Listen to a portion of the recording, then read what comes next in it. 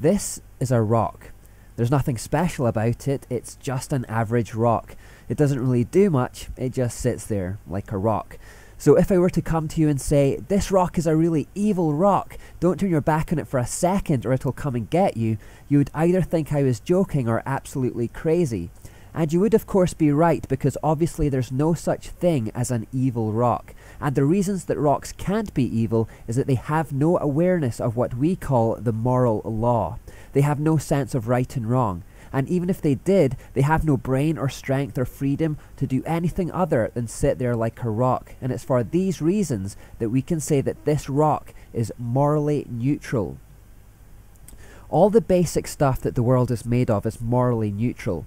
Wood, grass, cotton, metal, stone, vegetables, plants, earth, clouds, you name it. And pretty much everything that we can make out of that stuff is also morally neutral.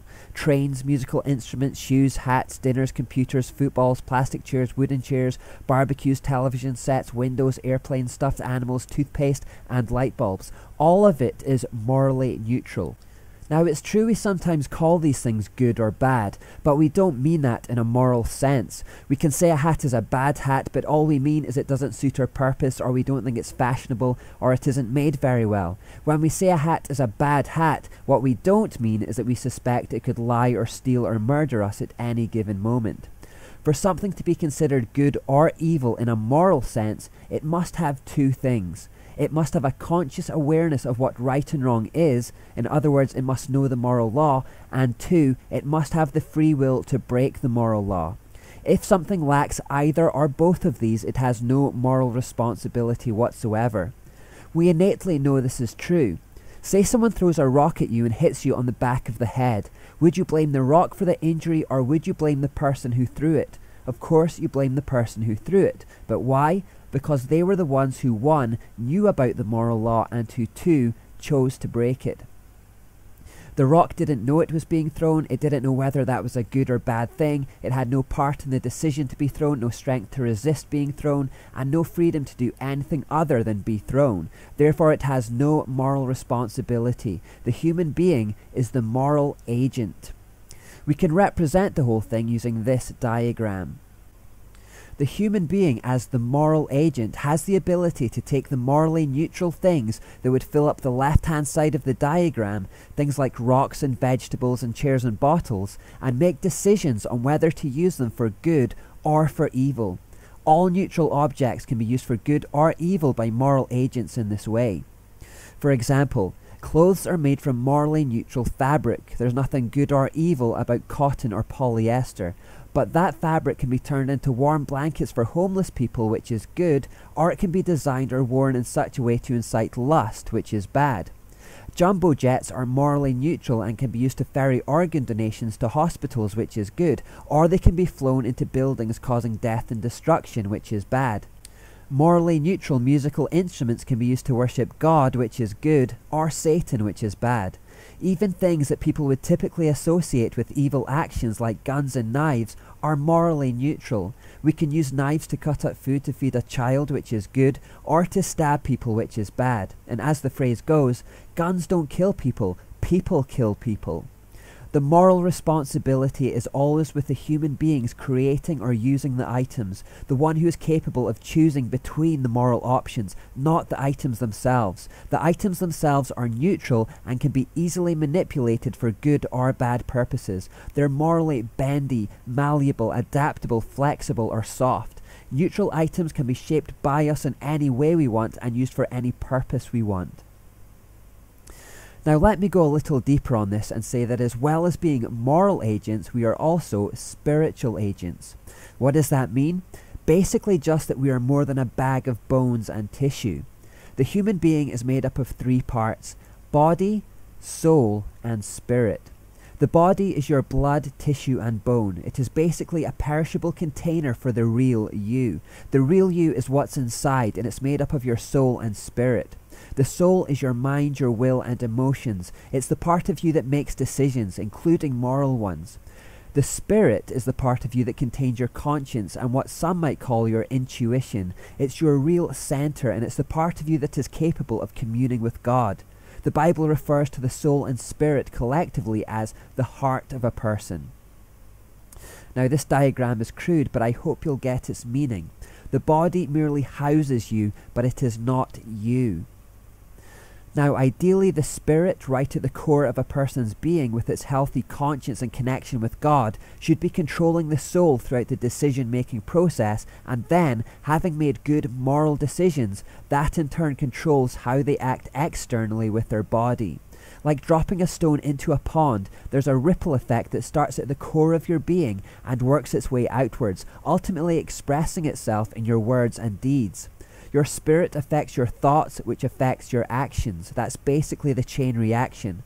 A healthy internal spirit and conscience leads to healthy external behavior. Indeed, it's even been said that who a person is on the inside begins to reveal itself on their face. Now, taking this principle and working in reverse, if we find people using their body for immoral purposes, what we are witnessing is merely external evidence of inner corruption or impairment in the soul and spirit. How does the soul and spirit, the heart of a person, become corrupted, or nourished for that matter? Simply by what we absorb, meditate upon, and worship. Jesus talked about the eye being a lamp to the soul. Our ears work in a similar way. If we want to nurture our hearts, we have to be intentional in focusing on things that will shine light on them. That means things that are pure, noble, true, good, honourable, and admirable.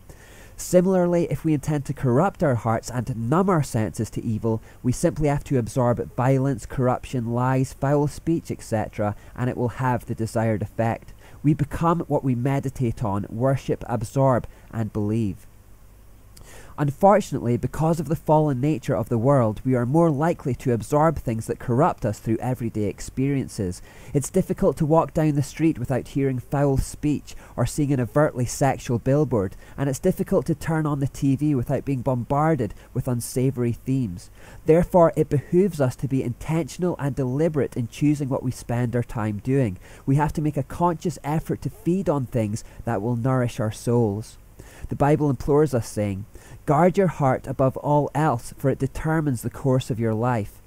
Protect and nourish your souls and spirits, and it will lead to healthy external actions. For Christians, that means making an effort to get into the Word of God, to pray, to choose fortifying entertainment, and to spend time with people that will encourage us in these matters.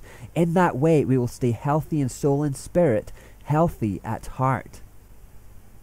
I should go one step further and explain that when a person has been involved in occult spiritual activity, or has not been born again, or has been especially damaged internally, perhaps through neglect, abuse, or rejection, there is a very real threat from demonic interference. Demons are capable of exerting a certain amount of influence over the mind and emotions of an individual, and this expresses itself in the form of deep behavioral problems. Obviously, it is useless to attempt to cure internal damage in the spirit by tending only to the external body, yet this is often what happens in a secular context. The secular medical solution to such behavioral problems today is often just to pump the patient's body full of drugs. While this may subdue the external bodily symptoms, it leaves the underlying spiritual root unhealed. The mental and emotional turmoil remains inside because the tormenting demons are never expelled. In such cases, the church should really be able to step in with the solution, offering insight and internal healing to the afflicted and the broken. Unfortunately, though, Christians too have been affected by the post Enlightenment mindset of our age that says everything can be explained and dealt with by material and scientific solutions alone. So you will in fact find few churches today casting out demons like Jesus and the first century apostles. That's not to say such ministries don't exist at all, but in my experience they are rare. Yet, if there's anything Christians should know well, it's that because we are essentially spirit, we are capable of affecting and being affected by things in the spiritual realm, both good and evil, things that our bodies can't see, feel, touch, taste, or hear. When we pray and worship, we are to do such things in the Spirit, in the full knowledge that such activities have a very real impact on things both seen and unseen. That isn't just a platitude, it's a fact. We should also not be ignorant of the fact that we have a very real spiritual enemy who looks to steal, kill, and destroy, and that a spiritual war rages all around us, and that what happens in the spiritual realm eventually works itself out into the physical realm. This is the first key point then. If you want to heal external behavior, you must heal internal hearts. You must go to the roots.